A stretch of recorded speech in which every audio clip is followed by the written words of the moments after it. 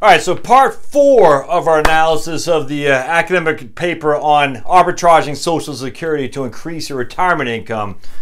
Now, I'm going to take it deeper than what these guys did. So, the uh, the John Shoven et al. paper that you can find through the NBER, uh, National Bureau of Economic Research, and it's free, uh, talks about the, the uh, using Social Security as a cheap annuity relative to buying your own annuity. Every time Social Security is cheaper, certainly cheaper than retail annuities and also cheaper than annuities that you can get from your 401k if you annuitize as opposed to rolling out your money and then going to a private company. So just remember, Social Security every time is the cheapest annuity you can buy. It's not even close. Not, that's simply not debatable. So as we're thinking about it, it's like, well, what happens if instead of John, remember John last time, if you didn't follow him last time, uh, the last video, go back because I talked about John versus Jane. What happens if John, instead of taking an annuity to generate the excess income he needed because he took Social Security early, what happens if he just pulled the money out from his portfolio instead? What would happen versus John versus Jane in that regard? All right, so we're going to talk about that here. Now, the paper didn't talk about that, so this is just my own thought process on it. And, uh, and for me, it's what 9:30 East Coast time. I've never done a video this late, but I can't. I've just been thinking about this, so I got to get it out there. So if you're in California, hope you're liking this. Hawaii, I hope you're liking this. And folks on the East Coast, hopefully you'll get this when you wake up bright-eyed and bushy-tailed on a Monday morning. All right, so welcome to Heritage Wealth Planning, the place you come to learn pretty much everything about retirement planning. Now, I don't know it all. You don't know it all, but combined, we can come up with some pretty good solutions. All right, so let me get my trusty uh, PVC pipe. So remember, the scenario is, or was, John and Jane.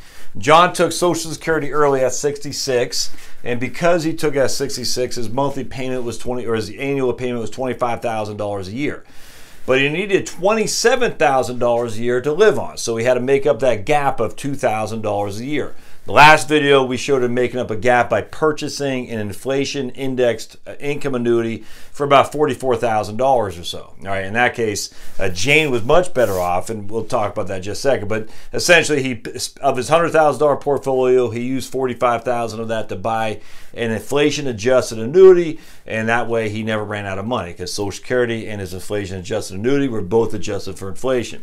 Jane, on the other hand, she waited to take Social Security for a year until she was 67. Her $25,000 of guaranteed Social Security because you have the delayed earnings credits went up to 20 uh, to 27,000. So she just needed $27,000 as her income need to pull from her portfolio that first year. And then after that, Social Security covered everything.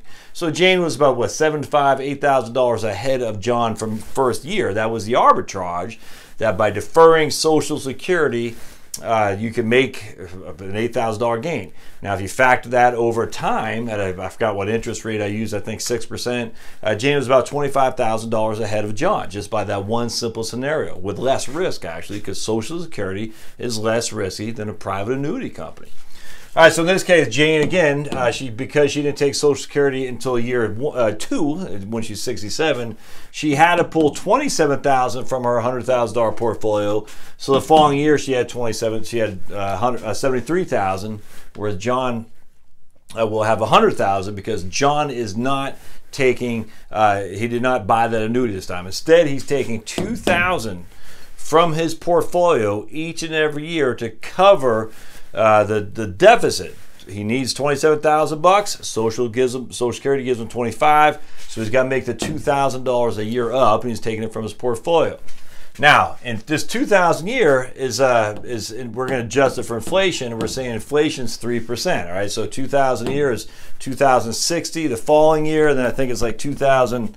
Let's see, what is it? 2,121 the next year, all the way up till the year 20 is $3,507. So the three percent inflation uh, increases, you know, steadily, steadily, steadily at a, a, decent enough clip that, in by year 20, he's not pulling 2,000 from it to make up the difference. He's pulling 3,507 dollars to make up the difference. Again, Social Security is adjusted, so Social Security for John and Social Security for the Jane are working at the same clip. All right, so that's our two scenarios. All right, so Jane just says, look, after the first year I pulled my 27000 out, I'm done. Social Security covers everything. I don't have any concern whatsoever.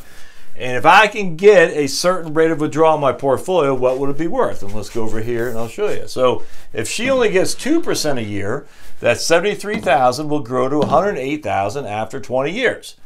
That 73,000 will grow to 159,000 after 4 if she only got 4% a year. So you can see where we're going. Pretty simple.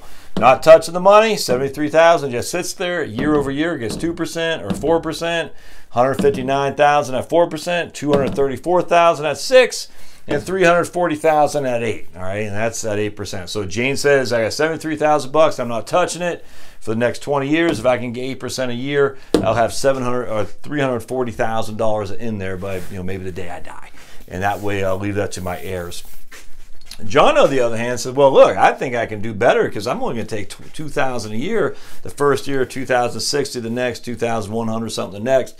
But Jane took a significant amount right out of the right out of the top here, seventy three thousand. I'm just pulling 2,000, 2,100, 2,200 each and every year. I think I can do better than Jane.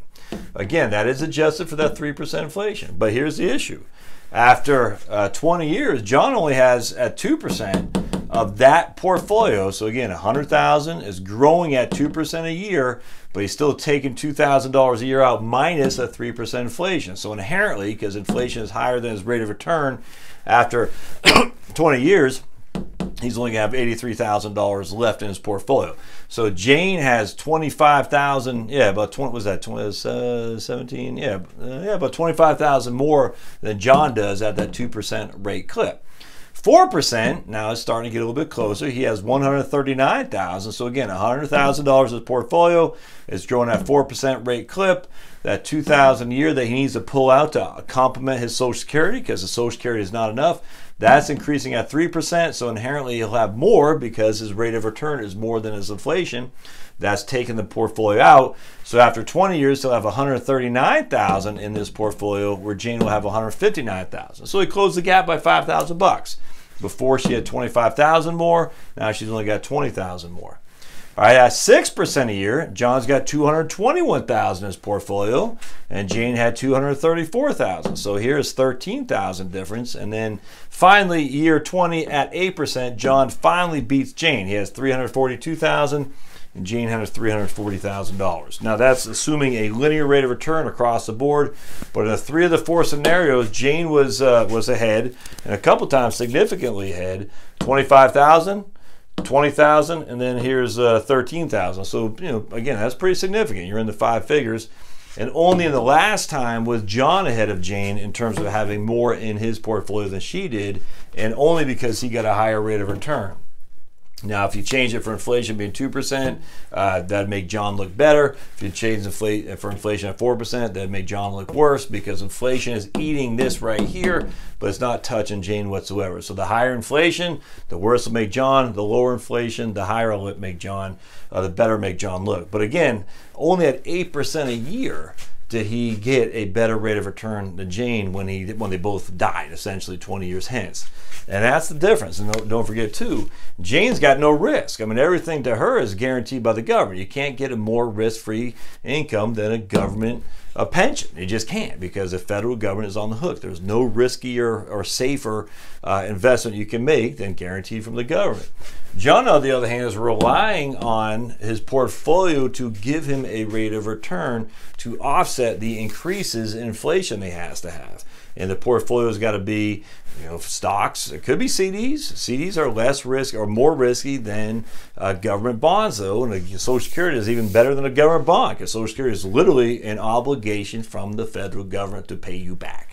There's just no getting around that. So the riskiest, uh, the risk-free thing is Social Security. Government bonds will be next. CDs at two percent are more risky than government bonds because CDs are the FDIC, the Federal Deposit Insurance Corporation, or if it's a credit union, the NCUA.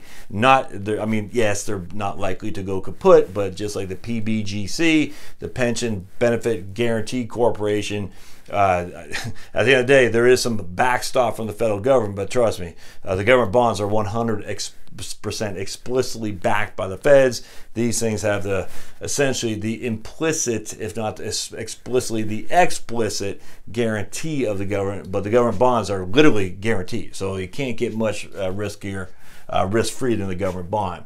And so it just goes to show you though, at the end of the day, taking Social Security early unless you get a high rate of return, it doesn't make sense. Now, now, there's a whole bunch of things going on here, and I get that. I mean, if you get an 8% return, you got 10% return, if inflation is lower, um, you know, what if Social Security goes bankrupt? Social Security is going to cut back, all that stuff. I get all, there's all kinds of risks here, but still, the default mechanism, in my opinion, would be to defer. Just based on these numbers alone, based on the arbitrage study that we looked at before, I think the default would be defer, and I think you should consider that as well. Open up, hear your ideas, thoughts, concerns, comments on this. Again, this will be the last we do on this video, uh, this on this uh, paper. We'll talk about other papers going forward, but love to hear comments. So don't forget to subscribe, comments, thumbs up. The whole thing helps me a lot. And uh, if you have any suggestions on videos, let me know that too. And we'll see you next time. Thanks, guys.